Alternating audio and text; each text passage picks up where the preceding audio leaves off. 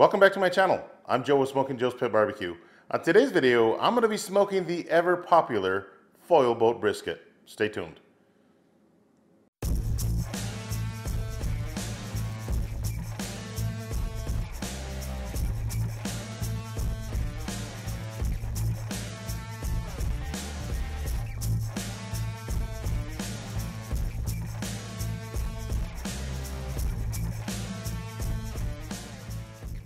All right, so I'm gonna glove up using my Clean Space gloves, and while I do that, I do wanna talk about the foil boat brisket. A lot of people think that the foil boat brisket is something new, but I gotta tell you, it is not. So about three and a half, maybe four years ago, I got into competition barbecue, and foil boating was something that we did to our briskets. Now, in competition barbecue, I used to foil boat to get the brisket nice and tender, not so much to develop a bark. Now there is a young man out there by the name of Bradley Robinson from Chuds Barbecue that has made the foil boat method extremely popular in the barbecue industry.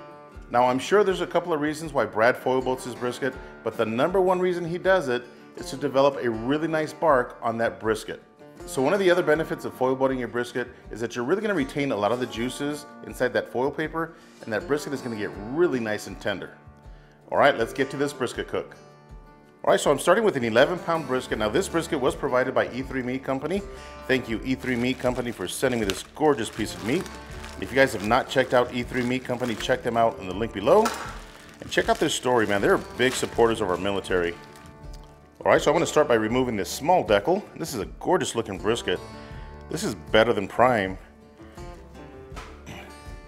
Check out that marbling on the point and the flat. Man, this is awesome. All right, I'm gonna take this edge of fat off right here. A little bit more.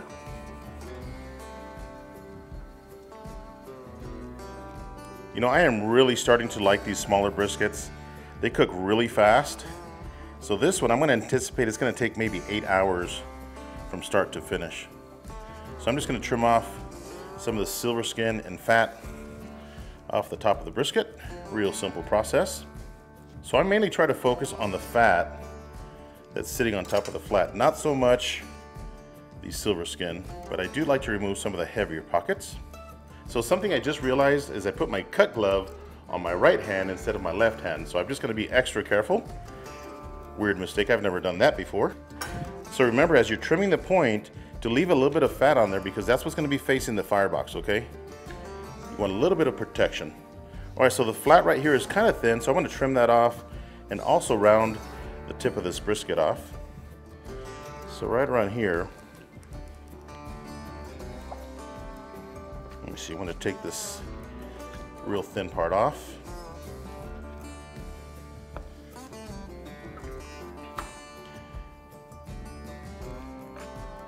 All right, that looks good right there.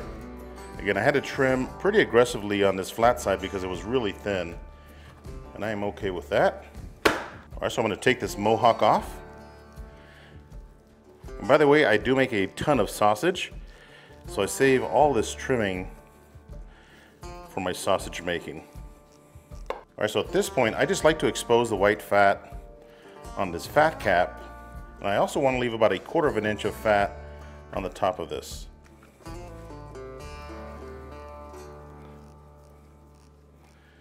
All right, before I season up that brisket, I do want to thank today's sponsor, Magic Spoon.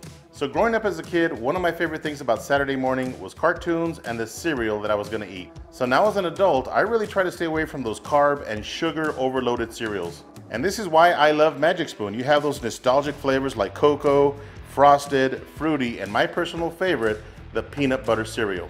So last year around this time, I got on a low carb diet and I gotta tell you, one of the things that I missed the most was a good cereal, but it's hard to find a cereal that's low in carbs and sugars. So the other thing is as a pit master, we are up really early in the morning to put our proteins inside the smoker and sometimes it's just easier to grab a sugary snack, but I gotta tell you, this cereal from Magic Spoon is a game changer. So the health benefits of Magic Spoon is that they have zero grams of sugar, 13 to 14 grams of protein, 4 net grams of carbs, and only 140 calories in each serving. So if you're on a keto-friendly diet, gluten-free, grain-free, soy-free, or low carb in general, this is a cereal for you. Check out the link below and grab yourself a variety pack of these delicious cereals. Make sure you use my promo code SMKNJOE at checkout and get $5 off your entire order. You can also go to magicspoon.com forward slash SMKNJOE and get your discount there. Mmm.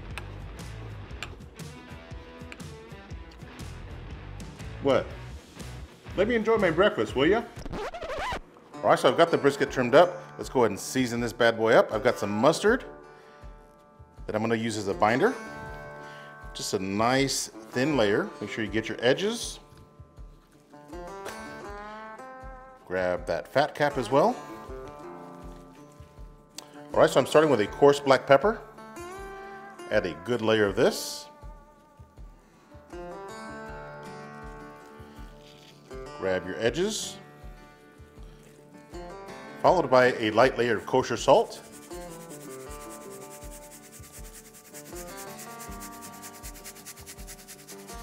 I'm also gonna add a layer of Lawry seasoned salt. You guys saw my last video, that was the first time I ever used Lawry seasoned salt. And the saltiness was perfect.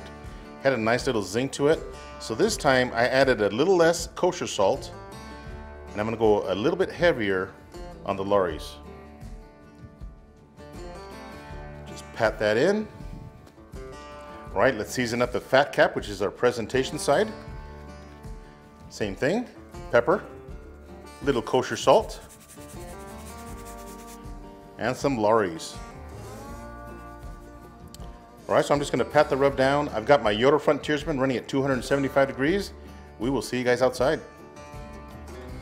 All right, so for this cook, I am using Southern Pecan from Gourmet Wood Products. Again, check them out at Academy Sports and Outdoors. So this is my first time that I ever used pecan to smoke a brisket. And I gotta tell you, as far as the flavor profile, it is a little bit stronger than Post Oak. Post Oak is somewhere right here in the middle. You can see pecan does have a little bit stronger flavor. So this is Post Oak right here, and this is pecan wood. Now one of the differences is that the Post Oak does have a finer grain compared to the pecan wood.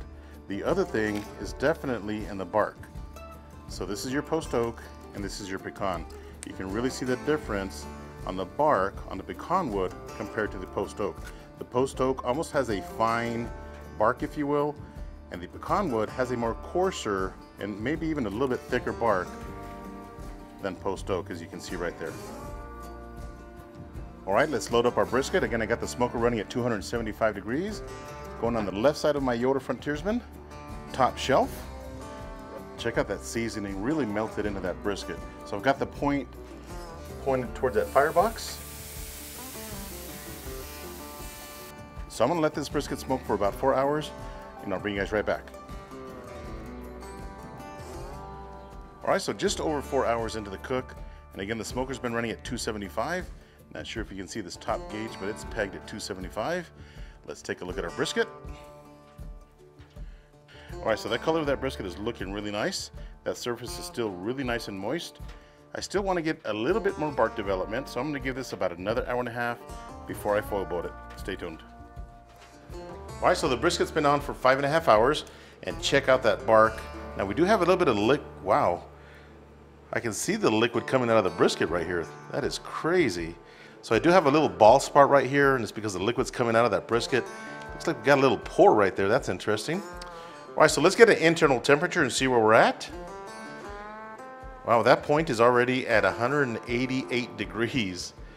And that flat, still tough though. 182, very tough. So I'm just gonna move this aside and grab two sheets of foil paper.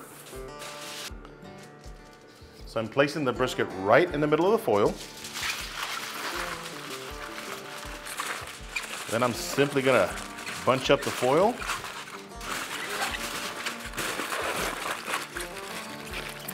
And create my foil boat. All right, so I've got the brisket inside the boat. I'm gonna go place this back outside in the smoker. All right, so let's place the brisket back inside the smoker. Again, we're still running at 275 degrees. This is a good looking brisket. I ain't gonna lie. Check that out. All right, so I've got the brisket back on. Again, we're five and a half hours in. I'm thinking another two hours and this brisket is gonna be ready. Stay tuned. All right, so the brisket is ready and the total cook time was exactly eight hours and check out this bark. It's nice and crunchy right here, looking really nice. So I did have this small spot where the fat was pooling and I actually had a small hole in the brisket and I could see the fat just pour out of there. So I just left it alone. It's not gonna taste any different, just has a little bit of a bald spot. But as far as the results right now, I am really loving it. Again, I pulled it at 203 degrees, right in the middle of the brisket. So what I'm gonna do is I'm gonna let it come down to 160 degrees. Then I'm gonna pop it in my oven for a couple of hours. I've got my oven set at 170 degrees. We'll see you guys in a bit. All right, so the brisket has been resting for two hours in my oven at 170 degrees. It's still really warm, but now let's take this baby out of the boat and see what we've got. Number one, this bark is absolutely savage. It's nice and dark. Look at this. Whew, man. All right, let's slice into it and see how we did. Man, I'm loving that bark. Again, this was only a two hour rest, okay? So I'm just gonna go right down the middle. Man, that bark is nice and crunchy. Super tender. Oh, baby. Look at this. See if you guys can see the juiciness of this. Let me give you a different angle. There we go. Check that out. this baby is super juicy. Look at that flat. Man, this is money. All right, I'm gonna slice into the point first. Man, I am loving this bark right here. This is ridiculous.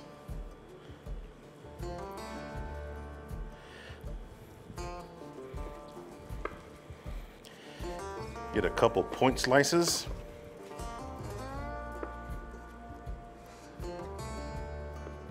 Get a couple slices here. Money.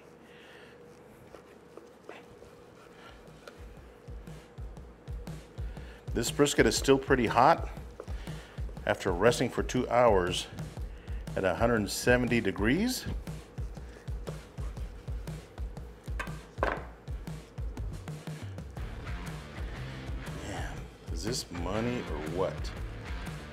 Check that out. Super juicy as well. Man, let's give this a try and see how we did. All right, let's give this brisket a try and see how we did. First, I'm gonna try the flat side. Look at that. Beautiful smoke ring. Still really nice and hot. And somebody once said that I have the biggest bite on YouTube, and this is not gonna be any different. Here we go. Man. Mmm, mmm, mmm. Man, the bark on this brisket is absolutely fantastic.